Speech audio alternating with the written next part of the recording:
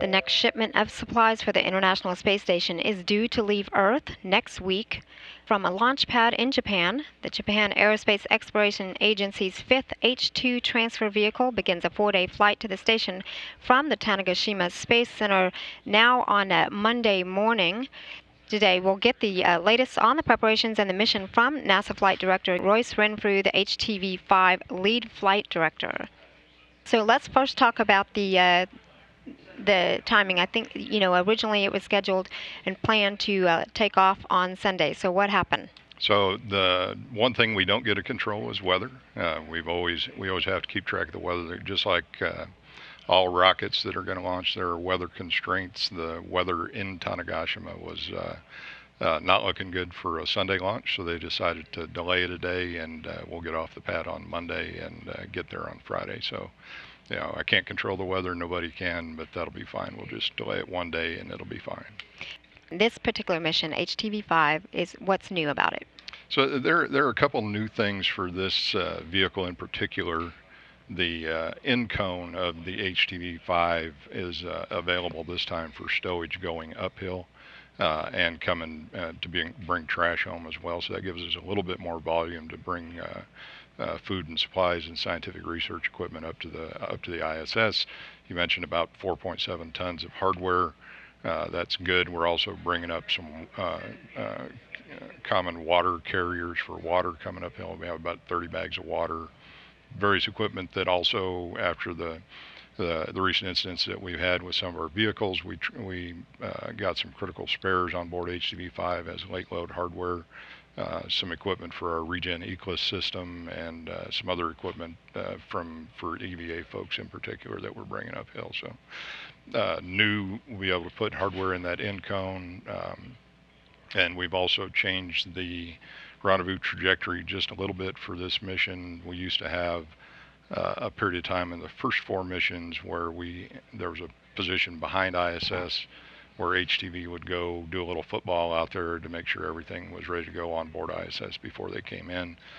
Uh, none of the other visiting vehicles do that activity, so for this mission, we we got rid of that what's called an AI hold, approach interface hold. We got rid of that, shaved about two hours off the rendezvous timeline uh, it gets us in line with the other visiting vehicles that are out there. So a couple different things, but predominantly it's uh, HTV mission, pretty much the same as we've always had. Just new and improved. Just new and improved. that's right. Okay, so you did talk about a bigger volume, so um, which is good because we have big stuff going up there. Yeah. So talk to me about the uh, the galley that's going up. Yeah, so we are flying up uh, two complete racks for ISS. Uh, one of them is the, the galley rack, which will go into the Node 1 module. Okay. This uh, is the U.S. segment. In the U.S. Okay. segment. It, oftentimes, the ISS is described as a four bedroom house or a five bedroom house, and that's very true. But the one thing that the ISS doesn't have is a kitchen. It has the ability for the crew to get water out of a potable water dispenser in the lab. There are suitcase sized food warmers that are scattered around. There are a couple of what are called Merlins, which are refrigerators where they can keep their food uh, cold when they want it cold. Mm-hmm. But it's not all consolidated in one space. So, so we're going to get a kitchen, a galley rack that's going to go in the Node 1 module. We'll move the potable water dispenser there. We'll, it comes up with its own little refrigerators called Merlins, and it has its own food warmers there. So it has a it has water, it has a refrigerator, and it has a stove, if you want to think of it that way. And that'll all be in one place in Node 1. I'm sure the crew will appreciate having that.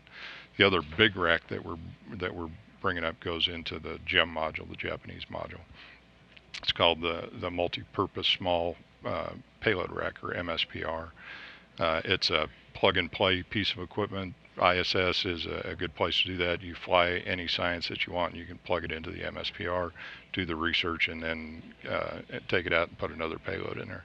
This will be the second MSPR. We already have one on the vehicle, so we'll put that rack in the in the JEM and move forward from there. Very good. So big stuff, and then also some big science. And I know that there's the electro magnetic levitator facility. Yeah, ELF. Correct, ELF.